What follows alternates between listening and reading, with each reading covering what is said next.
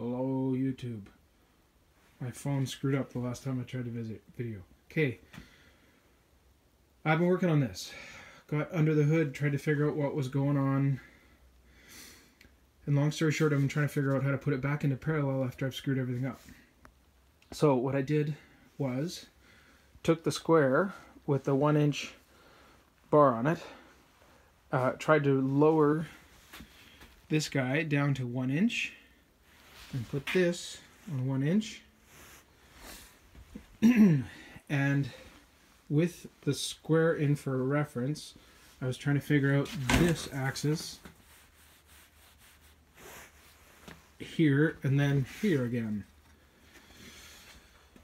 So there's no perfect point of reference because the cutting bar is just one bar down the middle.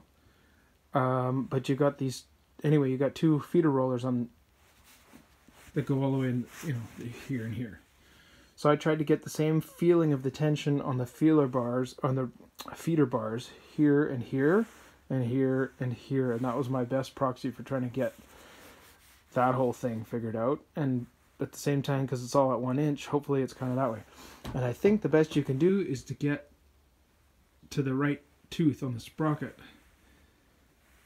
So may, might not be that fine of an adjustment. You just get to that tooth, and if, if you got it, you're as close as you're going to get. So then the question is how to retension it so that this doesn't happen again. These seem to be eccentrically drilled in the middle. So all I did was unscrewed it, broke the uh, thread lock, and I didn't have any other, so we'll have to see if this happens again. But anyway, um, and pointed that little lobe down here seems to point towards the, the point of maximum tension. So, focus. So, I maximized the tension on that top one, and this one seems to be sort of tight already based on just the way the chain is. So I'm going to try this and see if it works. Um, curious to see if anybody else has had this kind of problem, particularly with these uh, things from KMS.